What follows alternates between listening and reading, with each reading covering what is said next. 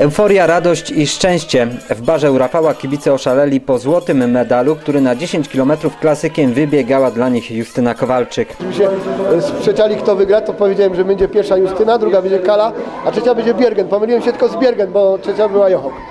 Atmosfera tutaj też wspaniała. Rewelacja, atmosfera zawsze tu była rewelacyjna i no coś pięknego.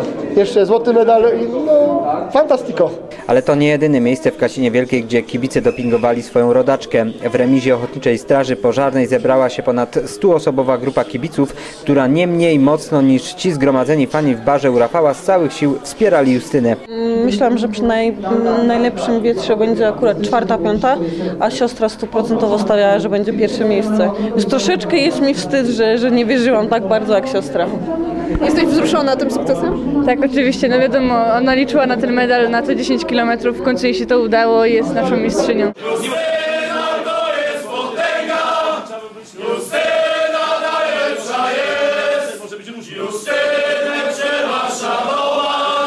Kibicowaniu w miejscowym barze towarzyszył śpiew, przerywany głośnym, wręcz fanatycznym dopingiem.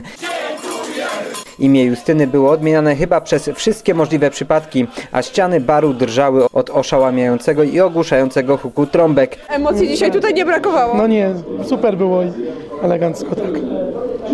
Wynik jest bardzo dobry. Temu żeśmy tak kibicowali, kurczę, że to po niektórzy głos stra- stracili, no nie? Także jesteśmy zadowoleni i zawsze kibicujemy Justynie.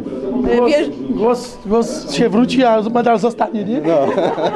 wierzyła Pani w dzisiejszy sukces? Myślę, że podziwiam Justynę ze względu na tą nogę, którą ma chorą. No jestem pełna podziwu I, i, i, i, i, no i cały czas trzymamy kciuki za Justyną. Kiedy narciarka z Kasiny Wielkiej wpadła na metę po półgodzinnym biegu, kibice oszaleli.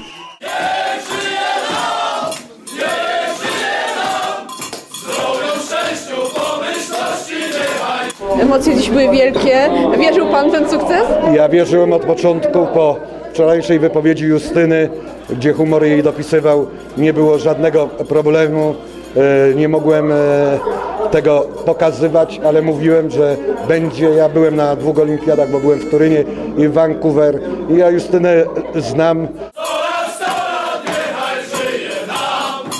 Głośne 100 lat, które odśpiewali po zakończeniu biegu, dedykowali swojej rodaczce. Nawet jakby były gorsze wyniki, to i tak musimy się cieszyć z tego, co jest.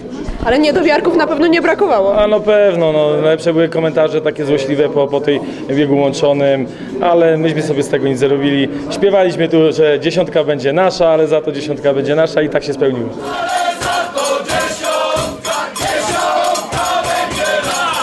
Pamiętam 8 lat temu, w którym nie byliśmy, Justyna zemdlała. Było to takie naprawdę dla nas wstrząsające przeżycie.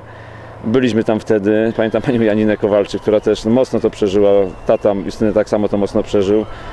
My jako kibice tak samo, no i tak sobie wtedy myśleliśmy, że jednak kiedyś może przyjdzie taki dzień, że ta Justyna będzie miała ten złoty medal. No i 8 lat minęło i, no i proszę jest. I fajnie, i bardzo się cieszymy.